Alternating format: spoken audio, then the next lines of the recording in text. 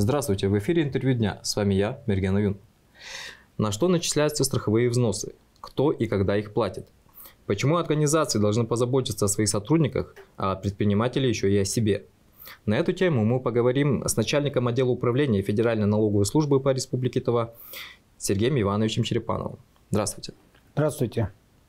А, Сергей Иванович, скажите, пожалуйста, какие виды страховых взносов существуют? Ну, начну с того, что в нашей стране э, существует несколько видов обязательных страховых взносов, э, которые администрирует налоговая служба. Это на пенсионное страхование, из этих выплат э, впоследствии формируется пенсия, на медицинское страхование, эти платежи позволяют обследоваться и лечиться по полису ОМС, и на социальное страхование, чтобы получать деньги по больничным или в связи с материнством. Эти меры, а, они призваны обеспечить социальную защиту граждан, и поэтому все граждане нашей страны должны быть официально трудоустроены. А скажите, пожалуйста, а кто платит страховые взносы? Страховыми взносами облагаются выплаты в пользу застрахованных лиц, произведенных в рамках трудовых отношений, по гражданско-правовым договорам на выполнение работ, оказания услуг, также по договорам авторского заказа, например, по договорам издательским каким-либо, э, лицензионным, ну и так далее. То есть у всех должны быть заключены обязательно трудовые договора. А, взносы, а, они же начисляются исходя из размера дохода сотрудника. А база для расчета, она сама по себе складывается из зарплаты, премий, плюс каких-либо надбавок, также отпускных. Сама ну, база формируется исходя из этого. Для плательщиков страховых взносов, а, производящих выплаты и иные вознаграждения да, физическим лицам, также предусмотрена а, единая предельная величина базы для их исчисления. А, единая предельная база для их исчисления, она определяется и устанавливается правительством Российской Федерации. Так у нас получается на 2023 год единая предельная величина – базы в отношении каждого физического лица составляла 1 миллион 917 тысяч рублей. На 2024 год данная величина составляет 2 миллиона 225 тысяч рублей.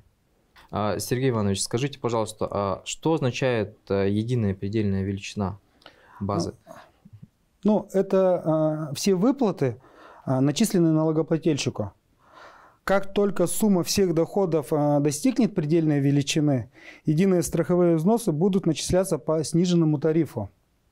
На сегодняшний день а, у нас получается стандартный тариф при расчете страховых взносов равен 30% до достижения вот этой предельной базы. И 15%, 15,1% это сверхбазы. Для малого и среднего предпринимательства применяется пониженный тариф по ставке 30%. Это с выплаты в пределах минимального размера оплаты труда. И 15% это свыше минимального размера оплаты труда. Эти ставки применяются до достижения лимита базы. После достижения предельной э, величины базы, эта тарифная ставка, она маленько изменяется. Там уже будет действовать 15,1% для а с выплат до минимального размера оплаты труда и 15% это свыше минимального размера оплаты труда. Также для IT-компаний, некоммерческих организаций, благотворительных организаций применяется пониженный тариф, равен он 7,6%. У нас в республике IT-компаний три организации, которые применяют данный тариф. Некоммерческая организация одна и благотворительная организация тоже одна. Как оплачивают страховые взносы индивидуальные предприниматели? А, индивидуальные предприниматели, безработников, также адвокаты и нотариусы а, уплачивают в обязательном порядке только взносы на пенсионное страхование и медицинское страхование в фиксированном размере. А, на 2023 год у нас э, фиксированный размер страховых взносов составлял 45 842 рубля – на 2024 год эта ставка изменилась и составляет 49 500 рублей. А страховые взносы индивидуальные предприниматели обязательно должны платить даже при нулевом доходе. Есть категории индивидуальных предпринимателей, не работающих, это самое, самое главное условие, которые могут а, освобождаться от уплаты фиксированных платежей. Это следующие категории лиц. А, первое – это те индивидуальные предприниматели, которые проходят военную службу по призыву или контракту, также индивидуальные предприниматели, которые ухаживают за ребенком до полутора лет, А, также индивидуальные предприниматели ухаживают за человеком с инвалидностью первой группы, а, за ребенком с инвалидностью, ухаживают за человеком свыше 80 лет. И для того, чтобы индивидуальным предпринимателям воспользоваться данной льготы, им нужно обратиться в налоговую инспекцию с заявлением и подтверждением документов об, об отсутствии введения индивидуальной деятельности. Спасибо. А вот а, еще такой интересный вопрос. А когда и куда платят а, страховые взносы? А, ну, налоговым кодексом определены четкие э, сроки уплаты страховых взносов. Да? Страховые взносы за себя и за работников с 1 января 2023 года э, можно уплатить единым налоговым платежом. Срок их уплаты не позднее 28 числа месяца, следующее за месяцем, за которым они начислены. А страховые взносы можно также уплатить досрочно, да, при этом просто пополнить свой единый налоговый счет и при подаче расчета или уведомления при наступлении срока уплаты да, налоговый орган а, автоматически распределит а, данные денежные средства, которые будут находиться на едином налоговом счете, а, на определенные налоги. Это касается и страховых взносов, и других налогов по сроку уплаты как и когда отчитываться по уплате налоговых взносов?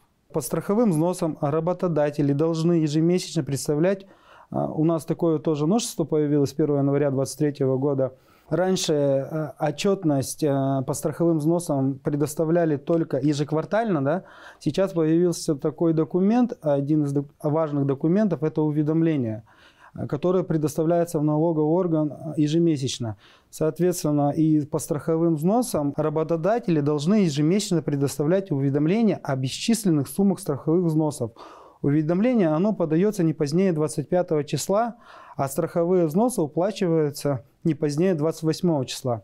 Так, например, вот за период с 1 января 2024 года да, по 31 января 2024 года Уведомление о бесчисленных суммах страховых взносов работодатели должны подать в налоговый орган не позднее 25 февраля 2024 года, а уплатить сам налог до не позднее 28 февраля 2024 года.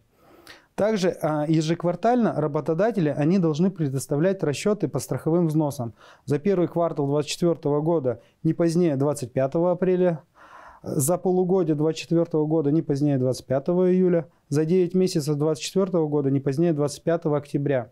И годовой расчет за 2024 год он будет предоставляться работодателям не позднее 25 января 2025 года.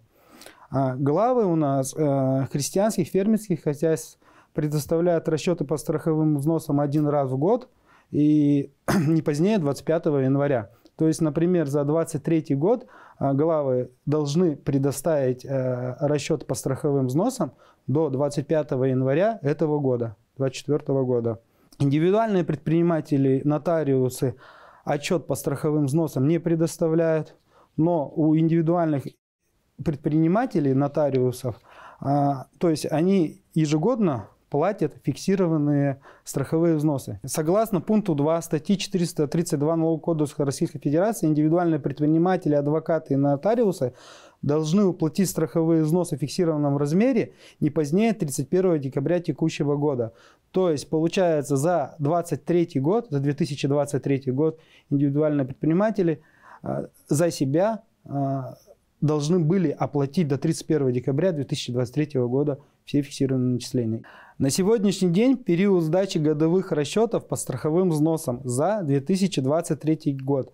Всем плательщикам, которые выплачивали доходы физическим лицам в 2023 году, необходимо во избежание штрафных санкций не позднее 25 января 2024 года представить расчеты по страховым взносам за 2023 год.